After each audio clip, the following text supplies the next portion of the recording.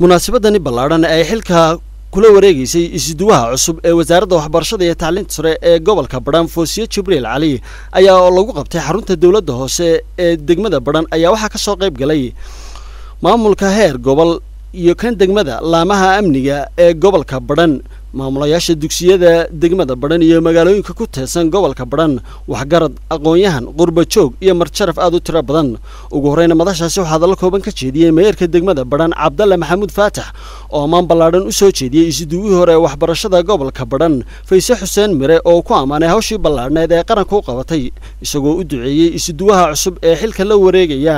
Waxaanuu meeyarku sheegay in isuduwihii hore oo ku maqan howlo shaqo ay xil wareejinta u igmatay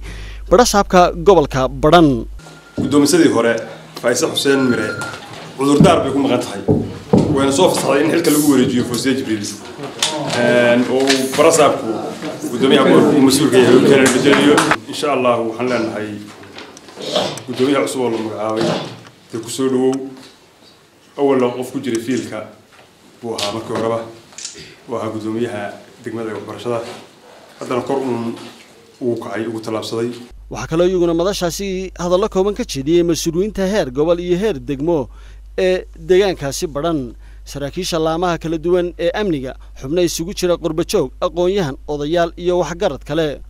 Kuwaasi oo dhammaantoodba ka warramay horumarka ballaadhan ee dhinaca waxbarashada uu ka sameeyey wasaaradda waxbarashada iyo tacliinta sare gobolka badhan waxaanay ammaan ballaadhan u direen isuduwihii hore ee gobolkaasi iyagoo u duceeyey isuduwaha cusub ee xilka la wareegayey wasaaradda waxbarashadu waa wasaaradda keliya baan oran karaa keliya ee gobolkan aynu joogno ka shaqaysaa. Haddaad gaari qaadataan oo wareegtaan waxaad ugu tegaysaan tuulo kasta oo laba cariish ama afar cariish aan ka badnayn iskuul ka dhisan. Runtiina dee waxqabadkeeda waxaa lahaa iyo ammaanteeda ciddii wasaaradda maamulaysay hadday wasiir ahayd iyo hadday gobolka ahayd ba ammaanteeda iska leh oo qaadanaysa. Cidda cusub oo hadda timi oo foosiye ahna waxaan insha allahu tacaala ilaahay uga rajaynaynaa. Hoggaankaasi meeshuu jeegay inay hore uga sii dhufato. Aada iyo aada waxaan ugu mahad celinayaa guddoomiyihii hore siday u shaqayn jirtay wax badanna ay soo qabatay xilkaa ay ka soo baxday.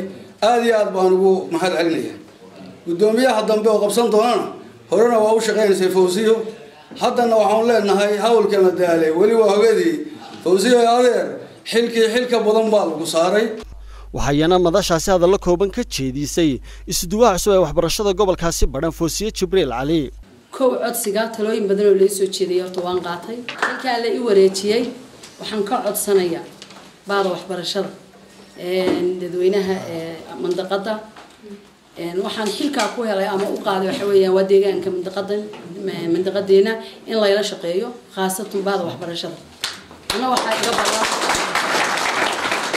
inaan si cadaalad oo ilaahay ugu ogyahay aan uga xaqsooro baada waxbarashada iskuullada deegaanka oo dhan. Intii awoodeyda badhasaabka gobolka badhan cabdixakiin wahaabi oo isaguna madashaasi soo gunaanaday ayaa u mahadnaqay isuduwihii hore ee gobolka islamarkaasina isuduwaha cusub kula dardaarmay inuu si hufsanaana u gudto hawsha qaran ee loo igmaday. Aada iyo aad baa loo ammaanay guddoomiyihii hore. Guddoomiyaha laftiisa aada baa isna loo ammaanay.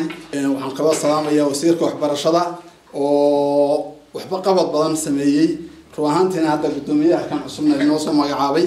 Guddoomiyaha horena waa sagootinaynaa kana waa soo dhaweynaynaa foosiye jibriil cali isuduwaha cusub ee wasaaradda waxbarashada ee gobolka badhan waxa ay kormeer ballaadhan ku soo martay islamarkaasina warbixino kala duwan ay kaga dhegaysatay maamulayaasha iyo macallimiinta kala duwan ee goobaha waxbarasho ee deegaankaasi